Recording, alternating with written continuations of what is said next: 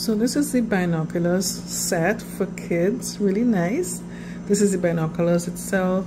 This is a little um, cloth to clean the lens, right? A little bag, pouch to put the lens in. And there's also like a strap you can hook up maybe the bag, um, a strap to hook onto the bag, right? So you can make it, maybe put it on your shoulder or something. And there's also a little booklet about birds and stuff of the North America. So the child can learn about, you know, birds and stuff, you know, if they're interested in, you know, getting full view of the birds and stuff in the area.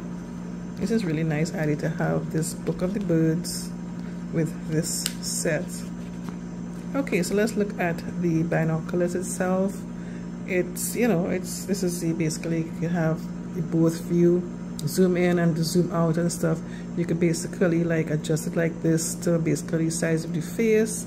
And we also have this section here well you know to get a clear vision.